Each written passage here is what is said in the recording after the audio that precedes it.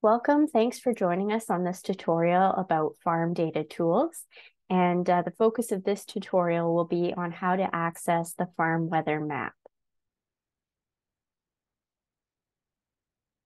So just a quick snapshot of that farm weather map. Uh, there's a little screenshot here just to give you an idea. Um, it's showing all of the weather stations connected to this farm um, data tools platform all at once. And so this includes those provincial farm weather stations.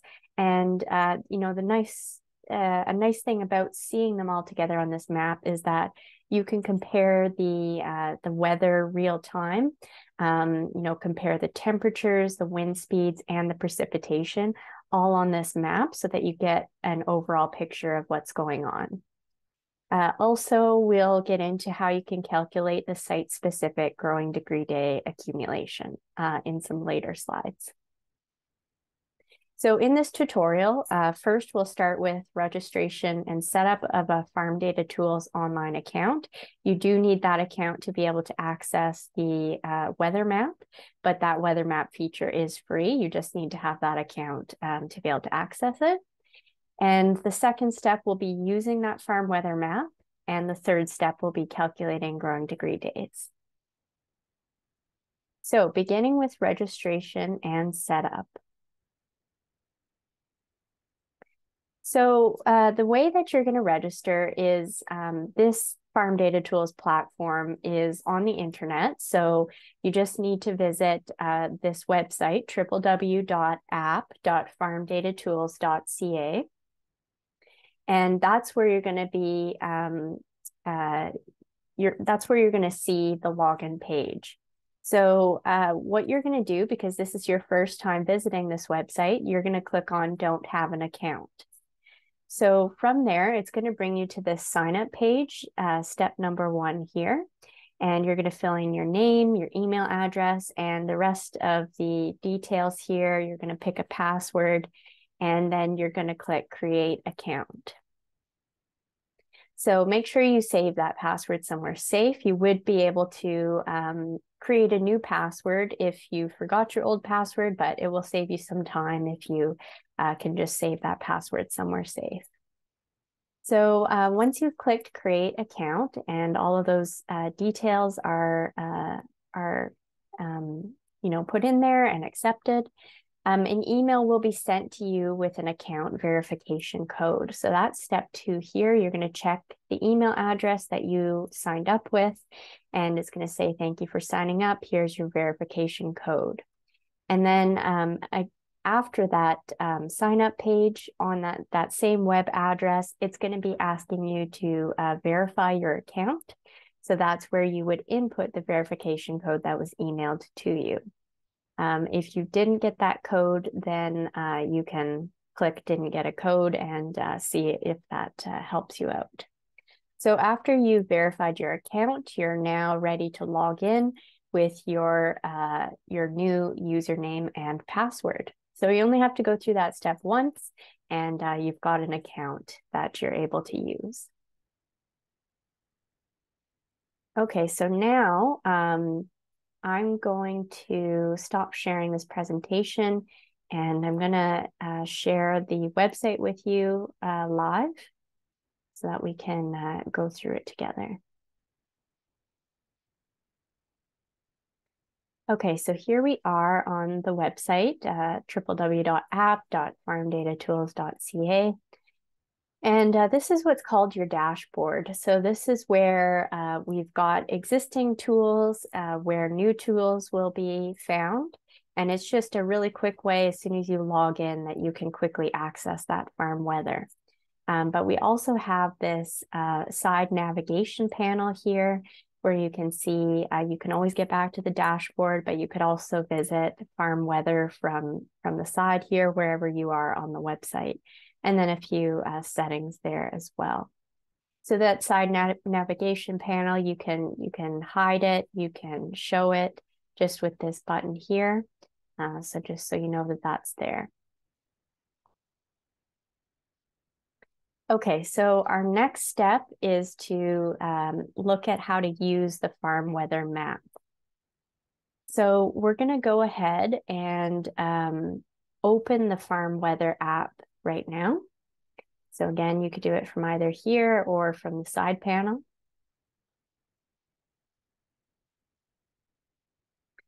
And uh, just giving that a second to load there, you see that all of the weather stations have appeared now. And uh, what we're going to look at first is how you can uh, change those weather parameters and see them changing um, on the map. So where you access the weather um, parameters is through this weather menu. So it's this little menu button on the top left of your screen here. And I'm going to click that. And uh, now we've got access to uh, these parameters. So right now it's set to temperature. So it's like three degrees at this station, 1.7 degrees at this station. I'm going to change it to wind and you see 9.7 kilometers an hour and 1.6. Um, the other one that's currently active is the daily rain. Um, so again, you can see that information. It's it's nice to see um, in a map view just to get an overall view. So you can also drag around the map um, with your cursor. You can uh, zoom out and uh, you can also zoom in, of course. So the next step uh, let's see. I, oh, I just wanted to mention like this is still under development. So these are the, the parameters that are currently available. Um, but yeah, we will see some improvement in this over time as well. Okay, so the next step now is calculating the growing degree days. So just a brief refresher on the growing degree days. Um, they're a measure of the heat accumulation based on the daily air temperature. And so uh, the way this tool uh, on, on our platform is set up to calculate those growing degree days is um, using the basic method. So that means uh, using the daily mean temperature, um, which is by adding together the maximum and the minimum temperature and then dividing them by two. So there's other ways to calculate growing degree days, but this is the basic method, um, which the the blueberry the wild blueberry growers would be familiar uh, with using. Uh, and then also uh, you would input a uh, base temperature, which is subtracted from the mean temperature to give you that accumulated uh, growing degree days. So the way that we access the growing degree days on this weather map is by clicking on an individual station. So let's go ahead and choose this station. Uh, okay, so we've got this station now and, uh, you know, you can see current conditions, but also if you scroll down here, uh, you'll see the growing degree day calculator. So we've got uh, zero degrees uh, automatically set as a base temperature here. That can be changed if you if you want. Um, but basically what you need to do is you need to set a start date. So we're going to go ahead and click the calendar. And uh, you can go ahead and, uh, you know, choose as far back as you want as your start date and uh, your end date as well.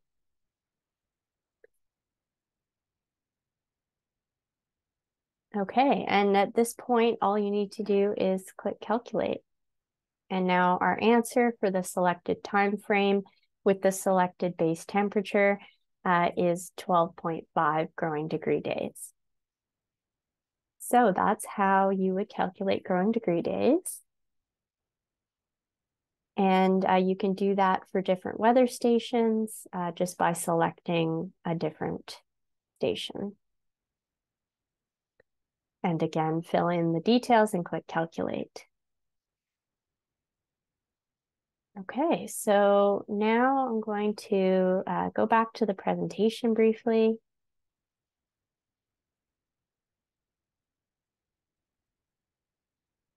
uh, just to be able to show you about the mobile experience.